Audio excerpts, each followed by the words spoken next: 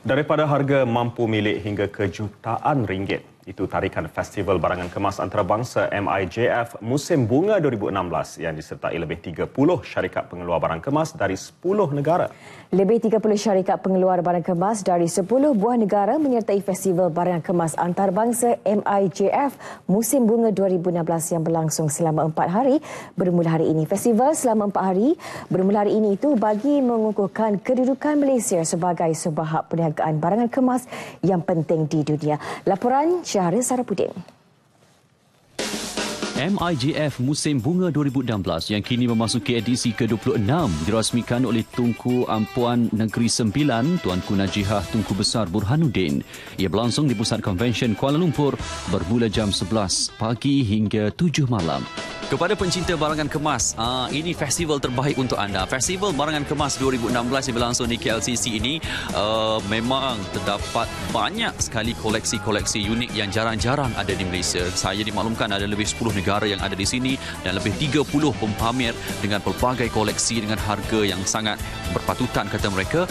Uh, jadi anda boleh datang beramai-ramai kerana masuk adalah percuma. Kalau sebelum ini dikenakan yuran uh, kami dimaklumkan lebih kurang RM10 seorang, tapi tahun ini yurannya percuma. Jadi anda boleh datang beramai-ramai untuk melihat koleksi-koleksi menarik yang ada di Festival Barangan Kemas 2016.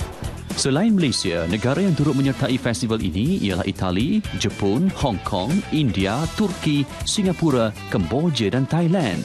Festival ni uniknya dia dia bawa uh, to get bring together all the um, exhibitors from from all over the all over the world, countries from booth sekarang di di sini uh, ada lebih kurang dalam 30 30 exhibitors yeah from from around 10 countries.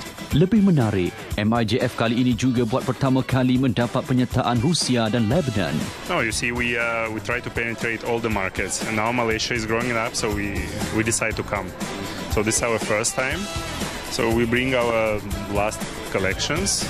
Uh, also, as as you see, we love the colorful things. So we believe that uh, the color will rule the world. Actually, what we have special is like uh, certain pieces we really marked down low prices too. You know, like we had it like first five pieces where we marked down the price, and th- those actually sold during an opening hour only. We're trying to set up so 11 o'clock by 11:15 they were sold like those five. Pieces. But other pieces are basically we are very unique in our pricing. Pengunjung juga pastinya teruja dengan koleksi yang unik dari pelbagai negara. Bagi seorang apa ni uh, lelaki kita tak berapa you know beraksesori begini tapi bila kita tengok art eh, benda macam ni saya rasa kita pun sebagai uh, apa ni uh, apa ni spectator kita appreciate MIGF yang bermula hari ini akan berakhir 25 April depan.